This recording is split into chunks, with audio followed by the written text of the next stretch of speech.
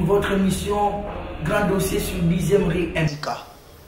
10e rue MK, Grand Dossier d'aujourd'hui, c'est une émission d'anniversaire. Parce qu'aujourd'hui, c'est le 1er février 2023, un certain 1er février 2017, il y a quelqu'un qui nous a laissé, le docteur Etienne Tshisekedi Wamulumba.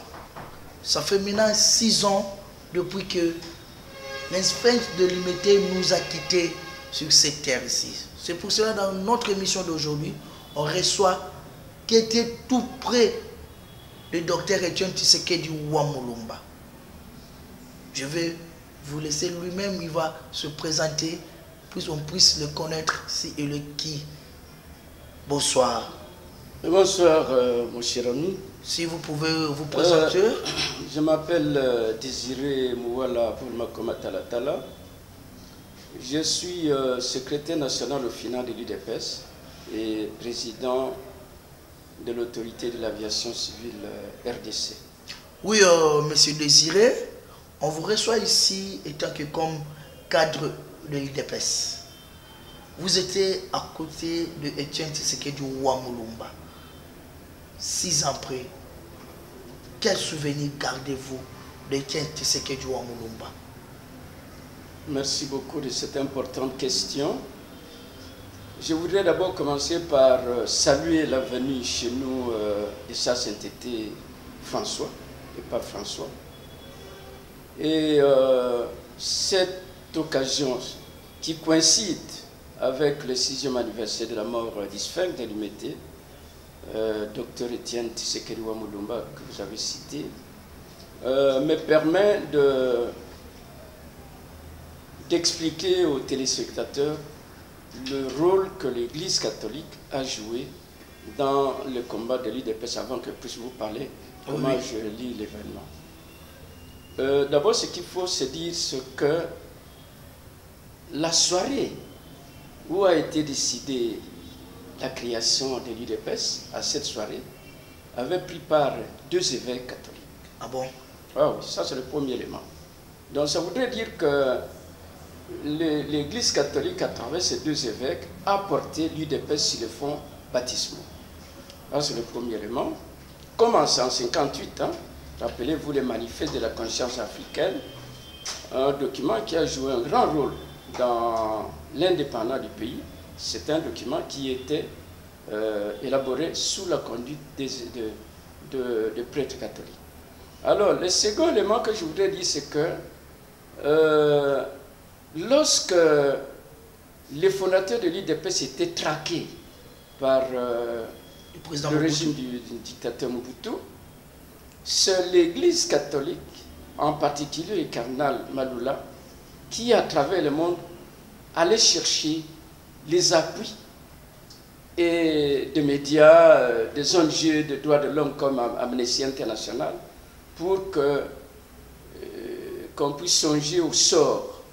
Et c'est lui aussi qui a apporté les aides, notamment aux familles euh, des fondateurs lorsqu'ils étaient trimballés d'un bout à l'autre du pays, bannis, envoyés dans leur village, en prison. Tout ce temps-là, c'était le cardinal Malula qui a joué un grand rôle. Alors, le troisième élément pour euh, vous souligner l'importance de l'Église catholique dans les combats que l'IDPS a menés, un combat d'ailleurs qui est proche de celui de l'Église, parce que, rappelez-vous, dans l'Église, il y a un mouvement qu'on a appelé la, le- le- la théologie de la libération.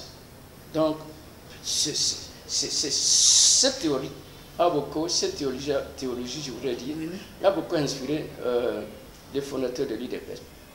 Alors, je disais que le troisième élément, c'est que lorsque nous sortons de la clandestinité, l'IDPS, après le discours euh, du président Mobutu de De 1900 24 avril 1990, 90. eh c'est dans les paroisses catholiques, notamment à Kinshasa, où l'IDP tenait ses réunions.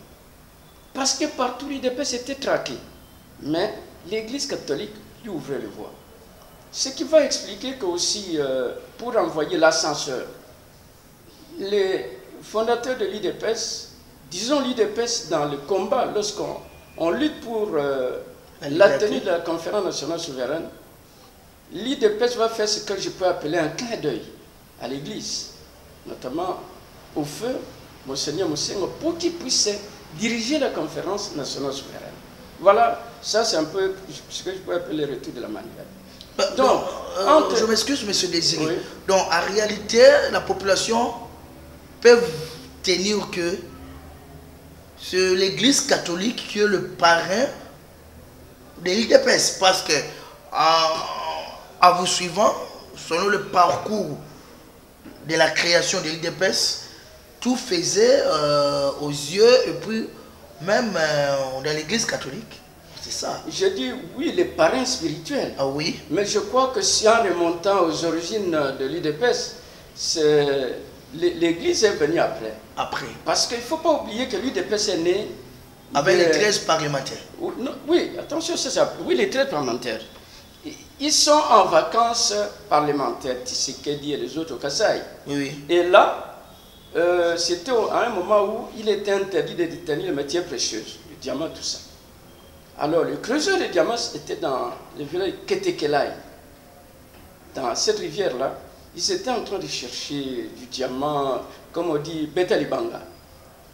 Et en ce moment, l'armée de Mobutu surgit et en massacre. Beaucoup d'ailleurs, c'est noir. Alors, les Tshisekedi sont en vacances parlementaires. Maintenant, ils prennent l'événement, ils viennent, ils font le rapport, un rapport normal d'un parlementaire qui rentre de vacances au Parlement pour exiger l'ouverture d'une enquête. À partir de là s'ouvre euh, ce que moi je peux appeler une lutte des chiffres. Euh, Mobutu, lui, va parler qu'il y a eu trois morts. Les parlementaires vont dire que c'était 200. Et en faisant le rapport qui, est fuité euh, dans les médias occidentaux, tout ça, vers Amnesty International, Mobutu prend peur et il appelle Tshisekedi il dit non, écoutez, je veux bien que votre rapport passe, mais il faut revoir les chiffres. C'est toi et non pas 200. Alors là, c'est un bras de fer jusqu'au moment où on va arrêter les Tshisekedi. Alors, je peux vous dire que l'Église catholique a été le père spirituel. Ok? Il ne faut pas se voiler le face. Je vous ai dit le rôle que le cardinal Maloula a joué. Mobiliser les médias, chercher les fonds, aider les familles qui étaient pendant que les- les parents se trouvaient en pagaille, en prison. Donc, l'Église catholique a joué un grand rôle. C'est pourquoi, comme je vous ai dit, à la conférence nationale souveraine, nous nous sommes dit non, il faut maintenant récompenser cette Église qui nous a beaucoup aidés. Cette Église qui dénonçait les dérives totalitaires à travers ses lettres pastorales. Voilà, donc, euh, oui, c'est ça. Mais euh, après le parcours euh, d'Étienne Tshisekedi Ouamulumba, vous étiez avec lui. On a vu beaucoup de départs. On a vu euh, l'esprit de l'unité être euh, malade. Mais vous étiez toujours à côté de lui. Quel souvenir que vous gardez? 6 ans, ou bien 32 ans d'élite, ou bien 40 ans d'élite quel souvenir Ouais. vous gardez d'Étienne Tshisekedi Ouamoulo Vous savez, d'abord, moi, j'étais un banquier. J'étais directeur provincial de la Banque centrale. Pas dans n'importe quelle succursale. À Lubumbashi, donc Katanga. Ah Donc j'occupais un grand poste. Mais moi, j'avais un problème avec euh, le maréchal Mobutu depuis l'université lorsque, le 4 juin 1969, la- lors d'une marche pacifique, l'armée a massacré plus de 100 condisciples, camarades. À partir de là commence la révolte. Donc je suis directeur provincial, mais mes amis qui sont à la SNC, c'est un peu partout, le Moutombo François notamment, ils viennent m'apprendre, est-ce que tu es au courant de... Moi, je dis, mais oui, on m'apporte la lettre de lettre, j'ai lu. J'ai dit, non, c'est une bonne chose. Alors, maintenant, nous sommes dans la clandestinité, on, tient des réunions ensemble, et puis, vous savez, la sécurité est très forte. Si j'entre en 85, et 89, 4 ans après, je suis traqué. Je suis traqué par la sécurité. Et on obéit, et tout cela, ça va entraîner mes problèmes professionnels, mon départ de la Banque centrale. Ah bon? Alors, le grand souvenir de Tshisekedi, de- de- du président euh, Étienne Tshisekedi Ouamulumba, c'est que je peux vous dire, je suis parmi les rares cadres de l'UDPS qui ont eu des causeries longues avec lui. Pendant que les autres allaient pour demander, mais président, comment se passe la conjoncture politique? Qu'est-ce qu'on fait? Voilà ce que Mobutu fait. Voilà ce que Kabila fait. Moi, j'ai eu une chance nous. En, janvier 1986, je revenais euh, pour donner mes cours à l'université du Bandoudo à Kikwit. Quand je rentre, le général Bongo, qui était le secrétaire général, il m'appelle, il me dit Désiré, voilà le président, voici votre invitation. Le président va tenir un dîner-conférence. Il va l'animer à l'Inter, à l'hôtel Inter. Euh, la date était déjà fixée. Je dis, euh, général, merci beaucoup pour la confiance que vous me faites, mais je dois vous dire que c'est pour la première fois que l'IDPS va euh, exposer ses options économiques et financières. Et cela, ça demande donc un document, on travaille de profondeur. Moi, vous me faites confiance, je vais prendre 10 jours, parce que j'avais déjà des idées dans les séminaires de l'IDP, j'ai animé l'aspect économique euh, du projet de société de l'IDP, donc je connaissais à peu près la pensée politique qui était sous-tendue par la lettre de 13. J'ai dit 10 jours. Le docteur Pou me dit non, Désiré, les, invitations sont déjà distribuées. J'ai dit, général, je ne peux pas engager ma responsabilité. Je suis parti. Deux jours après, il me rappelle, il dit non, tu as raison, tout le monde que je consulte me demande qu'on doit vous laisser le temps. J'ai pris dix jours. J'ai rédigé euh, la, première mouture et je lui ai dit, il me faut maintenant, plus c'est un travail il faut scientifique, il faut qu'il y ait encore d'autres cas de l'IDPS, notamment des économistes, des politologues, des sociologues, pour que nous puissions approfondir le travail. Et je vous dis, nous avons mis trois semaines. Alors, je vous dis pourquoi une chance exceptionnelle. Parce que, en tant que président de cette commission, tous les soirs, après que nous ayons travaillé, on travaille de 16h à 19h, euh, chez Mbayo à, à Limité, et moi, à la fin, vers 19h, je devais entrer au bureau du président, lui travailler la, la nuit, du secrétaire jusqu'à 20h, même 21h, ah pour lui faire le briefing. Alors, nous avons travaillé, et je crois que vous vous montrez cette image, le dîner-conférence a été un succès. J'ai eu le bonheur d'être à la même table que le président. Euh, je vois sur cette photo à droite ce JP Mundumba disparu, le président lui-même, euh, non, moi plutôt, euh, le président Tshisekedi, le président Mwankem, et à la fin, le docteur Mpongo. Alors ça a été un succès parce que c'était les opérateurs économiques qui sont venus pour apprendre la pensée de l'IDP. C'est comme je fais toujours un parallélisme avec l'ANC. Vous savez, en 1986, les hommes d'affaires, euh, les boers, comme on les appelle, sud-africains, avaient peur de, de l'ANC parce que son programme, c'était la nationalisation. Alors, ils voulaient savoir, c'était quoi le contenu. Alors, il y a eu une rencontre à Brazzaville entre les opérateurs économiques sud-africains et l'ANC, à Dakar d'abord, puis Brazzaville, pour leur expliquer qu'est-ce qu'ils entendaient, quel était leur programme, quelles étaient leurs idées.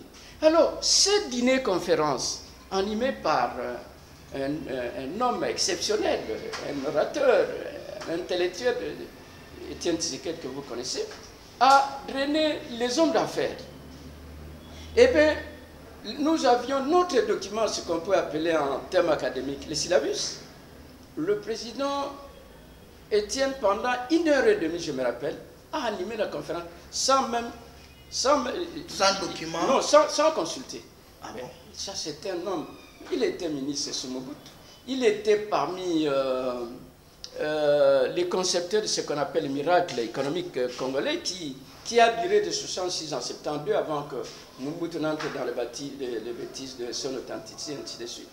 Donc, c'était un homme de dossier. Il était à Air Congo comme euh, PDG. Il était ministre de l'Intérieur et de la Justice.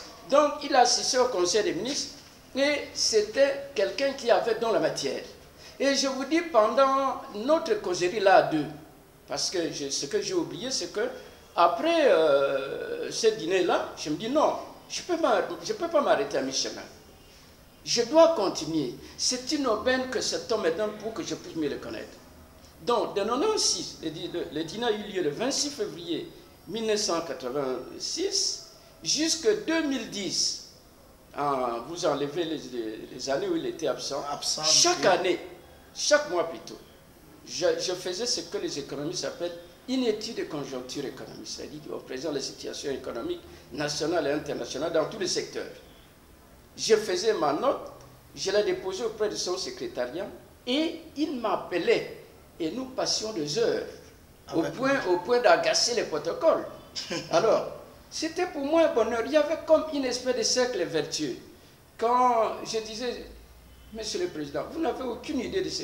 Il dit, mais non, vous êtes mon professeur. Lui m'appelait son professeur. Ah Allez, je comprends. Alors, donc voilà, euh, c'est quelqu'un que j'ai bien connu.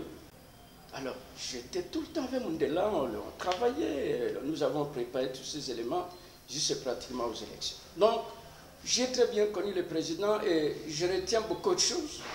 Je, dans mon article, peut-être que vous aurez l'occasion de lire, les fondamentaux éthiques de la pensée euh, d'Etienne Tshisekedi.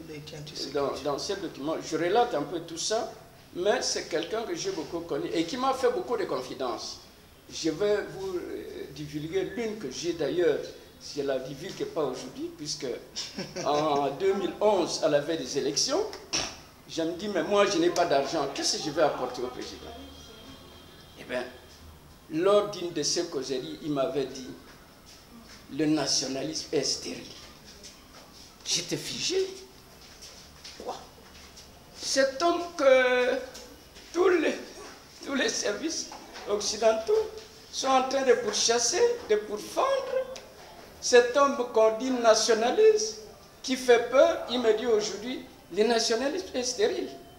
Alors, je suis resté figé pendant longtemps, et je vous disais à la veille des élections, j'ai fait un article dans le journal de Sof où je travaille avec mon ami euh, Kinkier. Et Kinkier, comme c'était un professionnel, il a habillé ça et ses outils, c'est qu'elle me dit, le national est stérile. Et ça a été publié dans les journaux et sur Internet même aujourd'hui. Donc euh, voilà, c'est quelqu'un que j'ai beaucoup connu et je crois que je connais quelque chose de sa pensée. Oui, euh, Monsieur Désiré, vous avez connu euh, le docteur Etienne Tshisekedi Ouamulumba. Vous l'avez fréquenté plusieurs fois. Aujourd'hui, euh, le docteur ne plaît là depuis le 1er février 2017.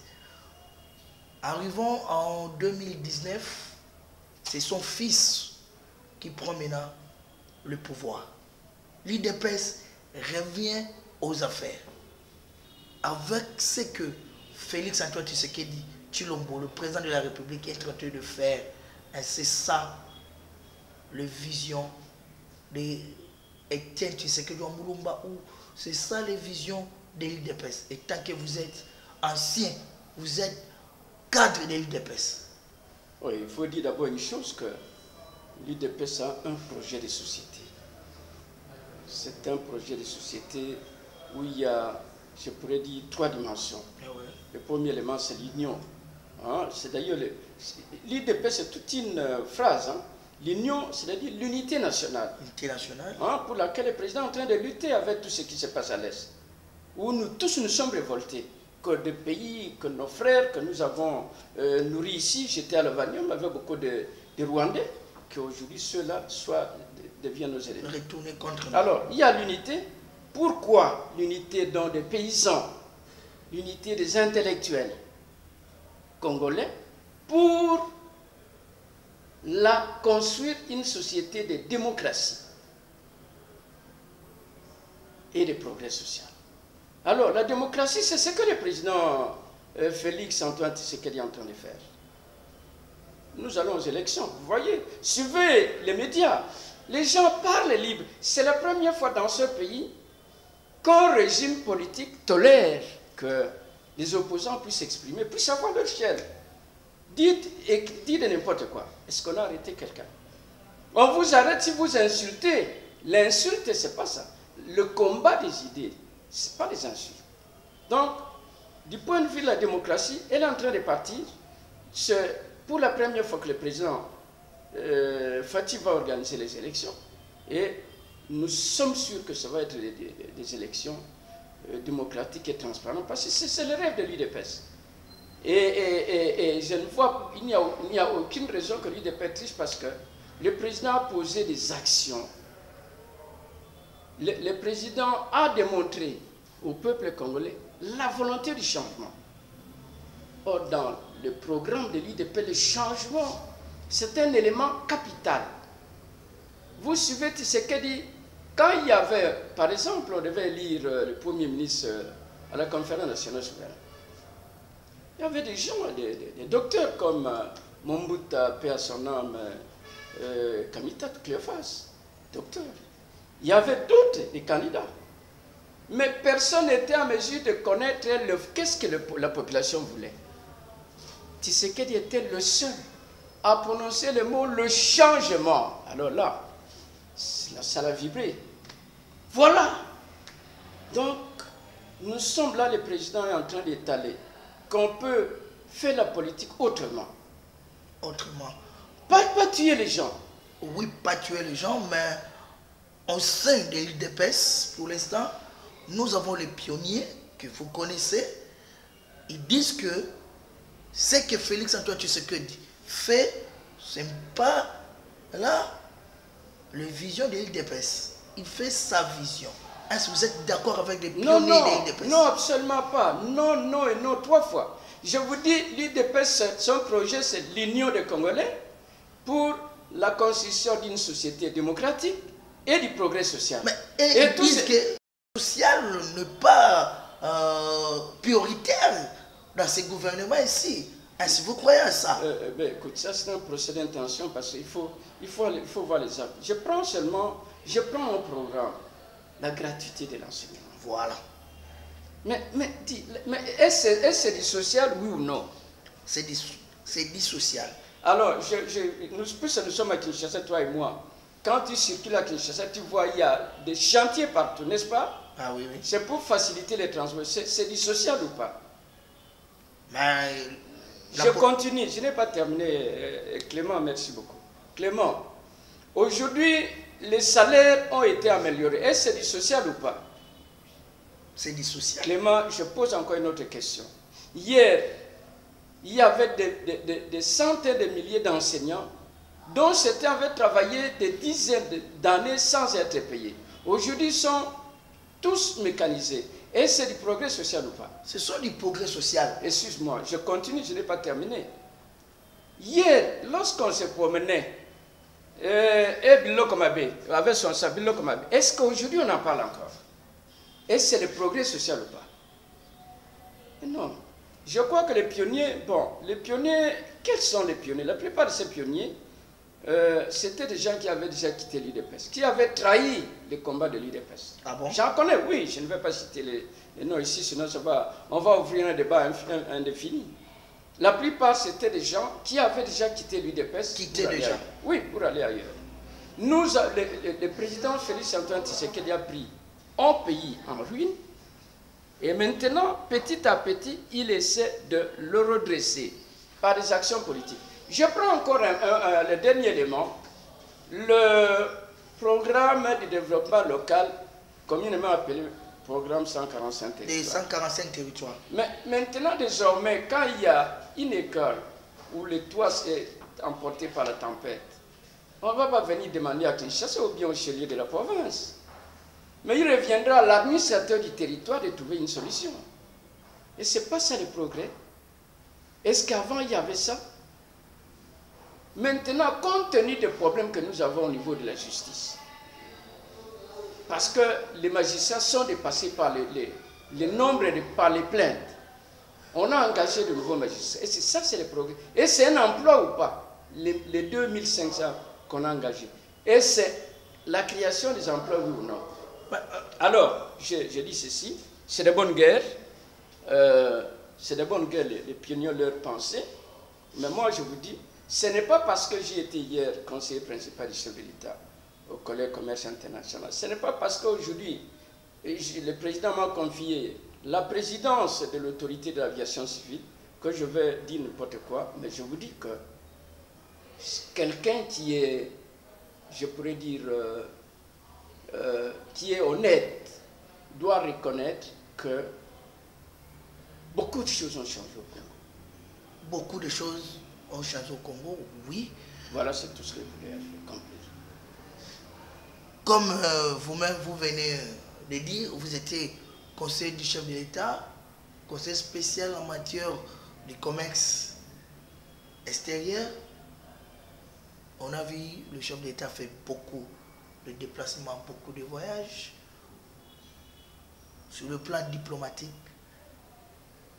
le chef d'État vient de totaliser 4 ans, le 24 janvier ici. Quel bilan, étant que vous, vous étiez proche du chef de l'État, quel bilan vous pouvez donner à Félix Antoine Tshisekedi Vous voulez parler de mon secteur, assurément Oui, de votre secteur Parce que je, je commence par mon secteur, Oui. nous allons aller Dans- sur dans le plan macroéconomique. Oui, hein. voilà.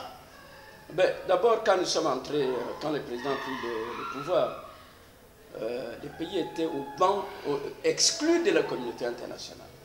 Il faut dire les choses. Oui. Et je crois que l'effort que le président a fait, c'était de rentrer à la communauté internationale. Parce que nous sommes dans la mondialisation. Dans la mondialisation, vous ne pouvez pas vivre dans une île. Non, vous- il y a, il y a l'interdépendance économique, politique, sociale, aujourd'hui on pourrait dire même climatique, médicale, avec la Covid qui est venue. Le président, par exemple, dans mon secteur, nous sommes rentrés à la Goa Oui, oui. nous étions exclus. OK? C'est très important. Deux, le président a, a relancé le dossier de la ZELCAF, l'accord de libre-échange continental africain. Africaine. Donc, nous, on allait se retrouver, pendant que l'Afrique est en train de s'unir, nous, on allait se retrouver à l'écart marginalisé. Alors que nous sommes la locomotive de l'Afrique. Suivez les discours de Lumumba, même les discours de Tshisekedi. Le Nous Congo, c'est la locomotive, c'est- c'est-à-dire que la renaissance africaine, doit commencer ici. Suivez les écrits de Nkrumah, Nkrumah reconnu. Suivez les écrits de Franck Fanon, il a reconnu. Tout le monde sait que si le Congo se réveille, c'est l'Afrique qui se réveille. Donc, voilà l'effort que le président a fait pour que notre Parlement puisse ratifier cet accord. Aujourd'hui, nous sommes dans la zone de libre-échange continentale africaine. C'est une zone qui, à long terme, disons dans jusqu'à 2063, si j'ai bonne mémoire, nous deviendrons comme l'Union européenne, parce que c'est par étapes qu'on va. Donc il y a un agenda qu'on appelle l'agenda de, de l'Afrique, de l'Union africaine. Alors je continue toujours. Euh, pour la première fois, le président a créé, ça, ça n'existait pas. Nous sommes maintenant dans euh, la communauté de l'Afrique de l'Est De l'Est. ce qui nous permet aujourd'hui de bénéficier de l'assistance militaire de, de cette communauté. Donc vous voyez sur le plan commercial, le président a beaucoup avancé. Alors, je crois qu'il faut entrer maintenant dans les chiffres. Malheureusement, je n'ai pas de documents ici. Mais nous avons fait un bond dans les échanges. Par exemple, avec la Chine, je crois qu'on est autour de 100 milliards. Donc, nous avançons. Euh, euh, notre, euh, J'entre maintenant dans le- le- la macroéconomie, puisque tu as posé une question sur le bilan du président. Nous avons un taux de croissance très enviable. Très enviable, mais Oui. la population vit dans le misère. Per- Permets-moi, nous avons évidemment une inflation qui est en train de remonter, pas seulement à cause du, du facteur domestique, mais c'est à cause de la guerre de l'Ukraine. Hein, vous savez, les Russes ont pratiquement fermé les robinets du pétrole et tout flambe. Parce que le pétrole, c'est un élément très important dans la structure des pays. Et ça impacte. Donc il y a ça. Vous parlez de la misère. De la misère. Je vous ai parlé de, des augmentations des salaires militaires, Oui, fonctionnaires, enseignants. Mais Vous monsieur, voulez qu'il fasse quoi? Mais monsieur Désiré, Il a, il a, ah, oui, vous venez de Massimanimba. oui. Vous venez de se faire enrôler. Mais vous avez vu la misère qui est dans votre secteur, non? Est-ce. euh, on, on peut dire quoi? Bon, d'abord une chose, hein, vous savez, euh, euh, la misère, si vous pensez que la misère, c'est pas le résultat de 4 ans. La misère, c'est tout un processus qui a commencé depuis des années. Mais vous étiez proche du chef de l'État, vous étiez conseiller du chef de l'État. Je, je- je suis en train de... euh, j'en- viens. La misère, ce n'est pas provoqué par les 4 années euh, de, de Tshisekedi. La misère, c'est un long processus. La crise de la société congolaise ne remonte pas à 4 ans. C'est une crise, moi je pourrais même dire qu'elle remonte à la mort de Lumumba. Ah bon? Je- oui, il faut que je vous le dise. La crise congolaise a commencé avec l'assassinat de Lumumba.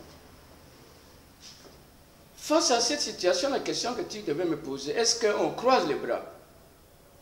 Ben, Supposons qu'il y a ce que tu dis, la misère, mais je pose la question, est-ce qu'on croise les bras?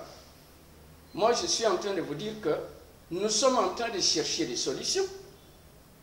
Et, et- et il y a des actions qui sont menées pour mettre un terme à cette situation. Donc, on- il n'y a pas de fatalité. Mais il faut maintenant, étant que les IDPS, il faut maintenant communiquer à la population, ils puissent savoir ce que Félix Tshisekedi est en train de faire.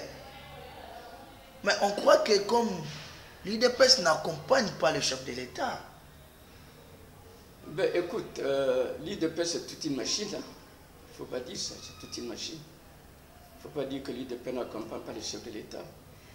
Hein, L'IDP fait de son mieux pour accompagner le chef de l'État. Donc, euh, donc à 4 ans ici, on peut dire Je peux le bilan du chef de l'État est positif. je peux vous dire d'abord une chose, pour vous dire que l'IDP cherche à accompagner le chef de l'État. Nous avions, c'est vrai, des problèmes internes, mais nous avons été acquissantes pour les résoudre. Ah oui. Donc ça, c'est déjà un grand... Alors, moi, je vous dis que le, bil- le bilan est positif. Sur le plan macroéconomique, les équilibres sont intacts. Nous avons des réserves d'échange que tout le monde connaît. Le Nous budget avons que tout le monde admise. Le budget Donc, de 15 milliards. Oui. Alors, donc, nous avons, j'ajoute encore un, un facteur peut-être sur lequel je ne suis pas attardé, le budget. Mais, mon cher ami, vous êtes en train de dire que le président ne fait rien. Mais, mais vous savez, pour intervenir dans les sociales, comme vous dites, il faut des moyens. Ah oui, oui. Et ces moyens, les moyens de l'État, c'est le budget. Et lorsque le budget passe de 4 milliards à 16, n'est-ce pas la recherche du bonheur qui est sous-tendue par cette volonté? Donc, contrairement à ce que vous pensez, contrairement aux autres là, le président fait tout. Comment nous arrivons à 16 milliards? Ça voudrait dire que hier, il y avait des centaines, des dizaines de milliards de dollars qui allaient euh, à Qui- l'étranger.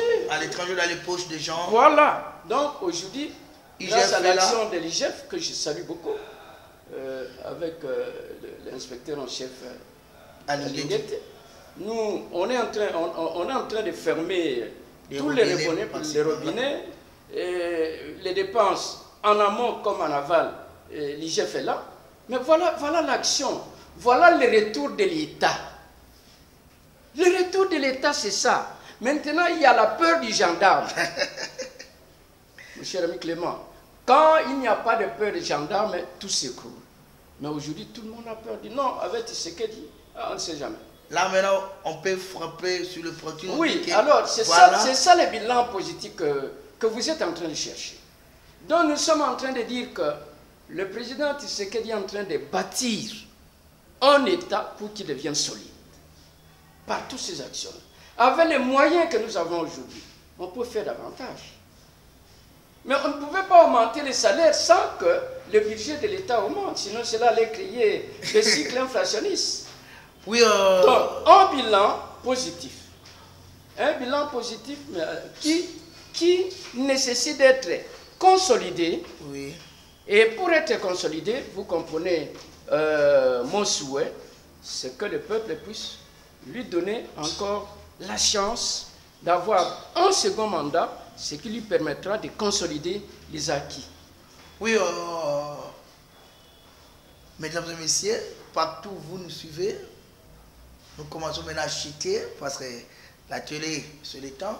Mais c'est désiré, vous venez de votre territoire, de votre province d'origine, de Massimanimba. Comment va Massimanimba Euh, D'abord une chose, euh, Massimani, ben, ça va bien. euh, la peur, la peur qui était distillée par les événements de Kwamut, Fatundu, Bakata. Oui.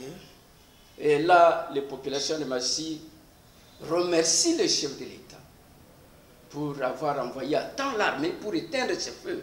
Parce qu'aujourd'hui, j'ai quitté, Kinshasa, c'est mon village dans, dans le, le- le- le nord de Massimani, au fond du nord, en frontière avec Bakata.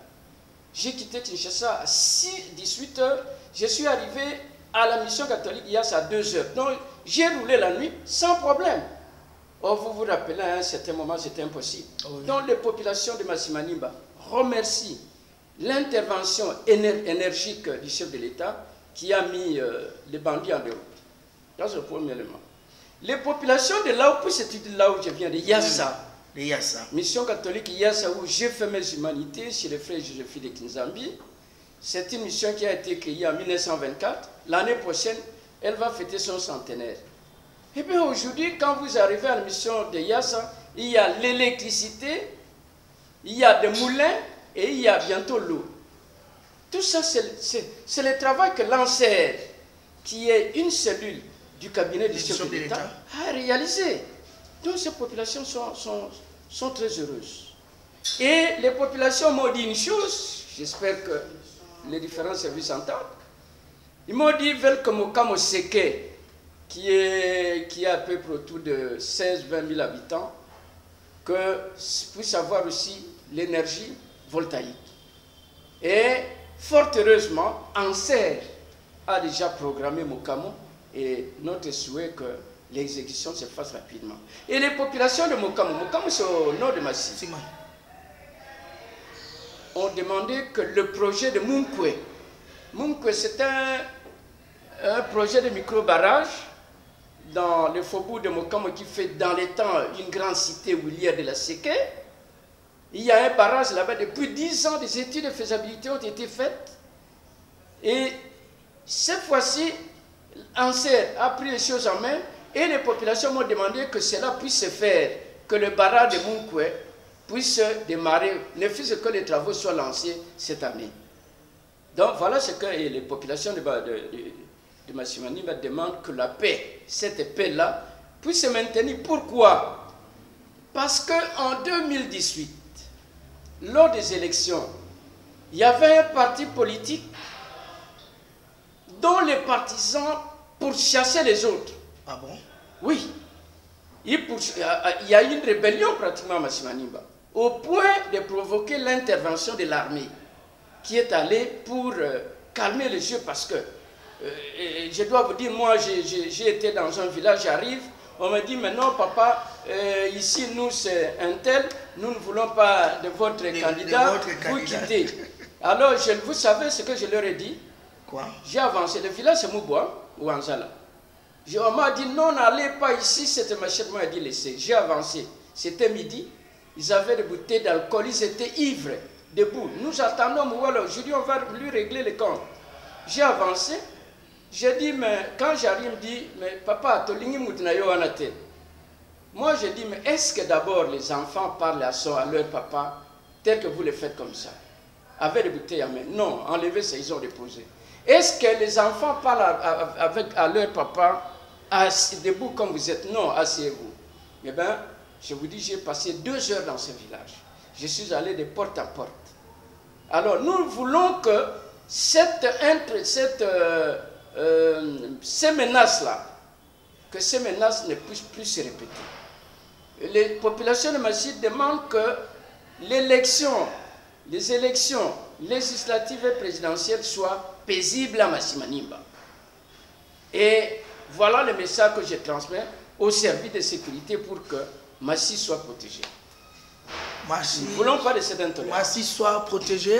Là, vous suivez les images que vous suivez là. Ce sont les images d'enrôlement de M. Désiré depuis sa village natal. C'est là. Fatou Nkoy, c'est là où que M. Désiré se fait enrôler pour euh, porter le mandat au chef de l'État. Deuxième mandat au chef de l'État, Félix Antoine Tshisekedi Chilombo. M. Désiré, nous commençons à chuter. On a vu, nous sommes maintenant avec le pape François ici. Hier, il était au Palais de la Nation, il a fait les, discours. Aujourd'hui même, nous venons de la messe dans le site d'Endolo. Le pape a parlé. Quel message vous avez capté des discours d'hier du pape et de son homélie d'aujourd'hui? Je dois vous dire une chose. euh, le pape, c'était la bénédiction. Je crois que il aurait fallu, s'il n'était pas venu, ça allait être une catastrophe. Parce que avoir la classe politique congolaise, vous savez, hein, le pape est venu avec un message est peu clair. Paix à vous, n'est-ce pas Ah oui. Hein, réconcilier dans l'Église. Donc, le pape demande à la classe politique de se réconcilier. Le pape demande que la classe politique puisse mener son combat politique selon les règles de la chrétienté, de l'amour du prochain. Voilà le mot. Donc je crois que ce que j'ai retenu du pape, c'est ça. C'est la réconciliation. Et puis unir les forces pour lutter contre les maux qui rongent le pays, la guerre et tout ce que vous avez pu citer. Mais quand vous avez vu euh, Martin Foilou dans la messe, quand vous avez vu Moïse Katumbi, ça vous dit quoi? Oh, vous savez, euh, monsieur le journaliste, j'étais très heureux lorsque j'ai vu le président se déplacer, le président Tshisekedi se déplacer, pour serrer les mains de, de la classe politique. Et je l'ai vu serrer la main de Katumbi, de Fayoulou, comme vous dites, et des autres. Moi, je me suis dit, mais c'est pourquoi il fallait que le pape vienne. Parce que s'il n'était pas venu, cette poignée de main n'aurait pas pu avoir lieu. Vous ne voyez pas? Ah oui. Mais c'est un sacré. Mais je dis, c'est un bonheur inestimable que je ressens. Euh, J'aurais pu demander, papa, papa, tikala nano ata une semaine à Kinshasa. Soki okozala te une semaine epai na biso malheureusement vous savez euh, il a son programme il a son agenda. Oui, il est le père de l'église universelle pas seulement des congolais. Oui. voilà. Après ici il va aller au Soudan. Donc c'était euh, c'est merveilleux que le pape soit venu parce que je suis sûr que cette poignée de main là ça a déclenché un processus je suis certain que cette poignée de main présidentielle, à l'endroit de ce que je peux appeler c'est classe politique. Oui, la classe politique, ça va, ça va créer, ça va générer un processus euh, de pacification, de tolérance, de convivialité. Et je crois qu'il fallait que le pape vienne pour que finalement ça balise les chemins, le chemin vers les élections. les élections. Oui, euh, Monsieur Désiré, le pape a dit aussi, tous les pays de grandes puissances d'abandonner leur soutien aux rebelles. Est-ce que vous avez aimé ce parole-là? Oh, mais ça c'est là où Parce que quand le là- dit là ça, où- on a vu le cardinal Oui, du Rwanda en train de bouger sa tête. oui. Quand l'ONU dit qu'elle est impuissante, vous avez suivi. L'ONU dit qu'elle est impuissante Ça, pour euh, désarmer M23. les M. Le pape dit non, il faut la paix.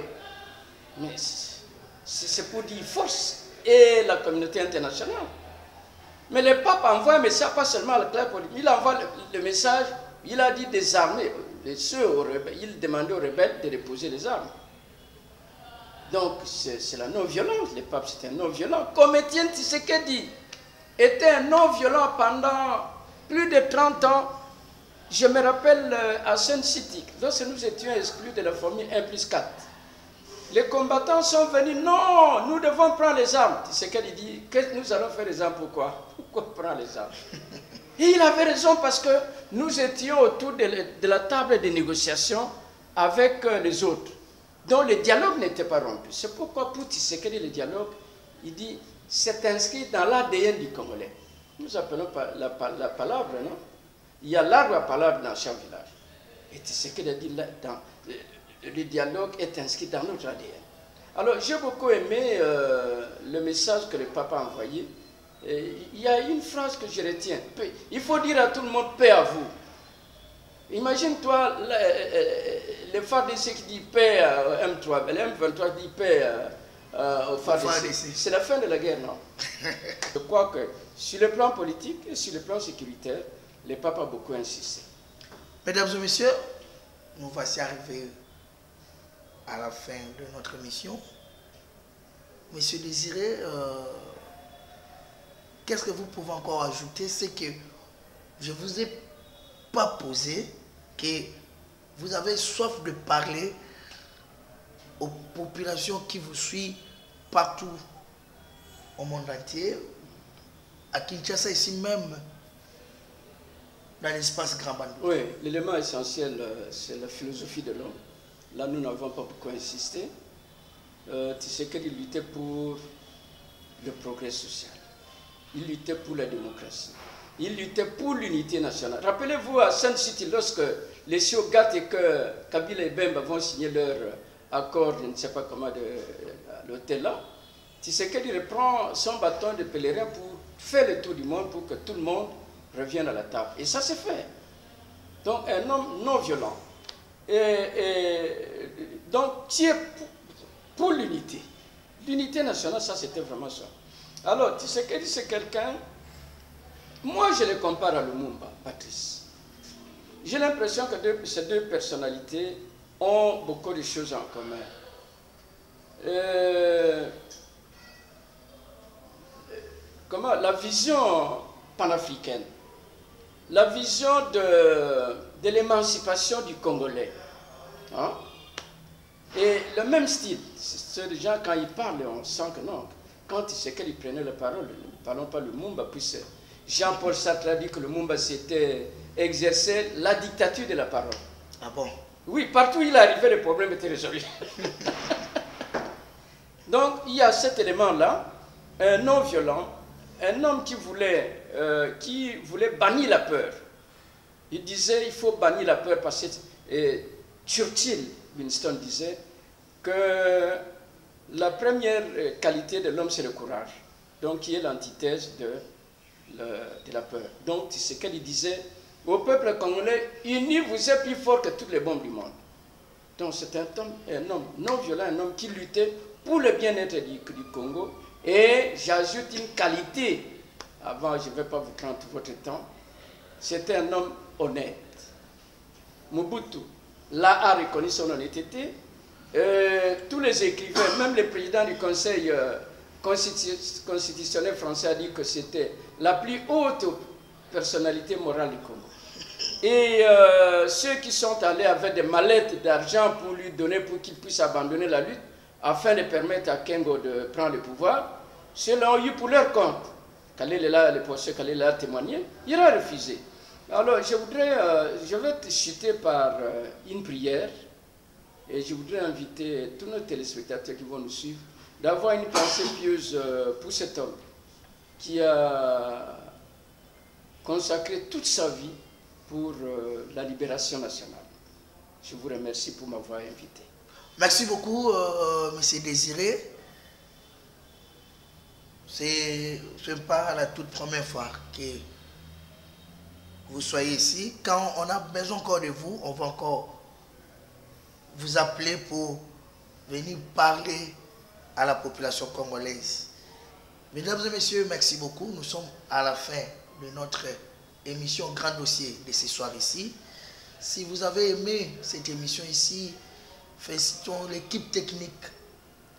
Gauthier Kele qui était derrière les caméras, nous remercions notre directeur Doudou Eyumbu qui était là au chevet de cette émission. Car à moi, votre humble serviteur, je vous dis merci et à la prochaine.